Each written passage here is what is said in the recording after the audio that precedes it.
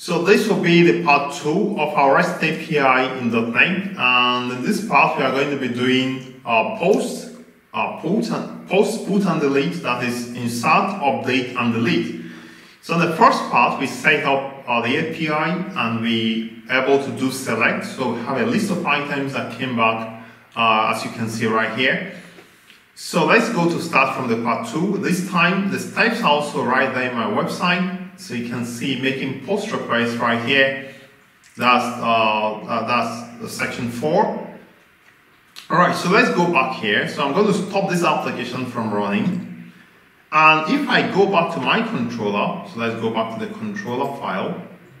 So you have friend controller right here. So one thing you can notice is that we have the get and it tells us slash API slash friends and it's HTTP get.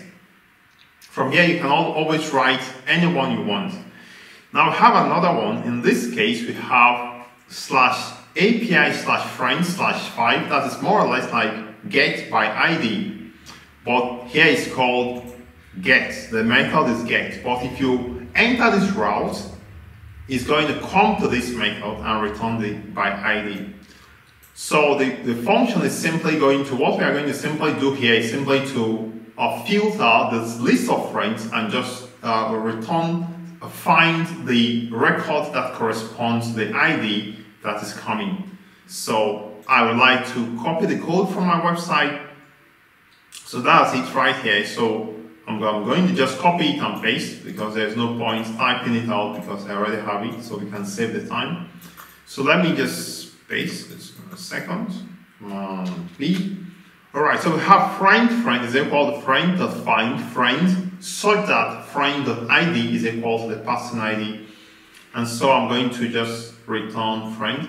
Now, what we are going to return is not a string, but a friend object. So I'm going to allow it to be this way. Okay, so um, instead of just running the application to try to test it, I'm going to, let's just do everything and then we test all of them at the same time. But if you are following this video, please feel free to pause the video and test what you already have to make sure it's working. So at this time, we now have to do posts. So now we are not using a database, so we can have uh, a friend coming in from the, from the as a request and what we are going to do, we are going to simply add it to the list and return the updated list. So I'm going to also copy the code from my website. I think it's quite simple, to, it's quite easy. So it's simply friends that add friends and return the updated list. So we are going to make a bit of refactoring uh, on this code. So I'm going to just paste it first and now we want to return, instead of void, we are going to return a list of friends, a list of friends, and what is coming in from the body should be a friend object. So I'm going to say friend, friend, like this, okay? So what's going to happen is when this friend comes in as a request, is going to be extracted from the body and added to the list and then return the updated list. Let's do the next one. This time we are trying to do put. How do we do put? So we are going to first do a find. We find this item. Once we find it, we are going to update it using the friend coming in as a request. We are going to use it to update this, uh, the one we found, and then uh, return the updated list. Okay. I'm going to also copy from my website. Um, the codes are quite easy. This one may require a bit of explanation, so let's copy and paste it first, and then I'm going to explain it to you. So in this case, we are doing a put request. So this is a placeholder for the put request. So I'm going to just paste this code right here. So what's coming in from the body should be a friend object. So I'm going to say uh, friend, friend.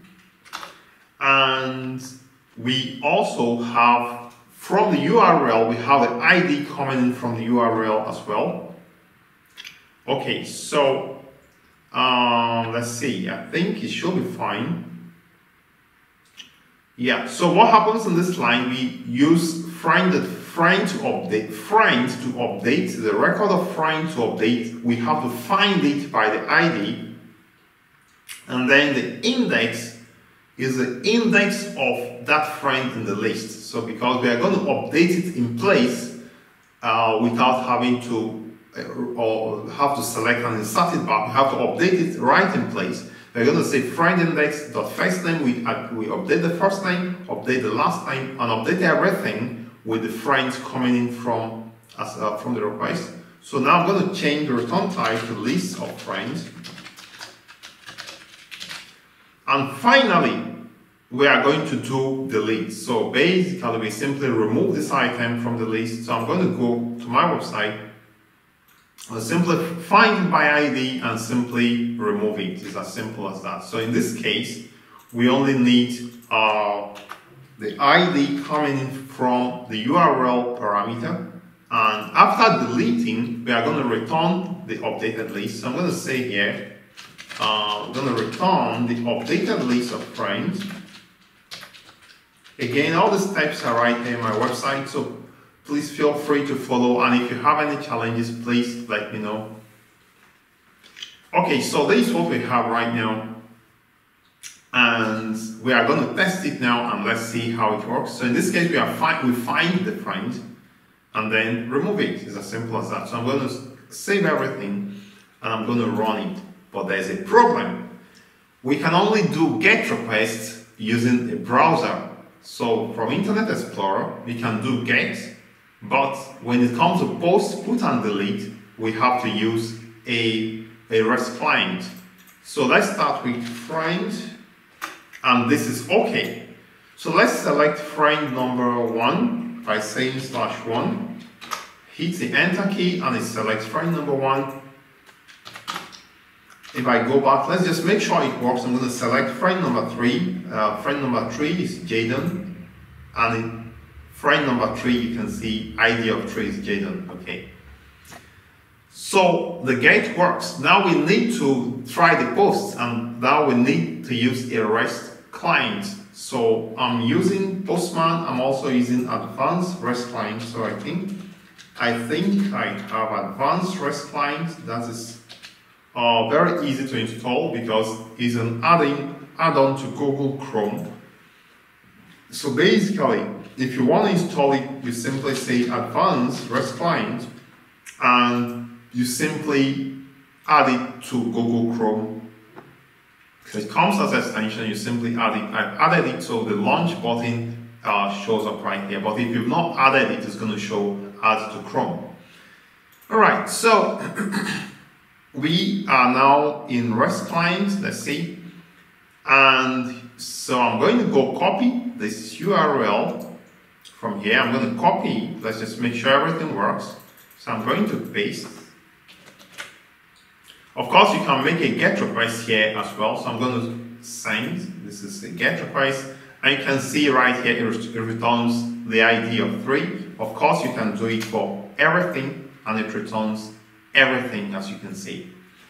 Let's now add a new item to the list. So to do that is the best, the, be the easiest way to do is to just copy this. Uh, I can add like item number six. So to do that, I'm going to go to change the method from here to post. And I'm going to the body and I'm going to paste this. And I'm simply going to change it to item number six. I'm going to change this to another name, Lizzie. I'm going to change this to uh, Reynolds. Okay, Reynolds stays in London. an imaginary name maybe.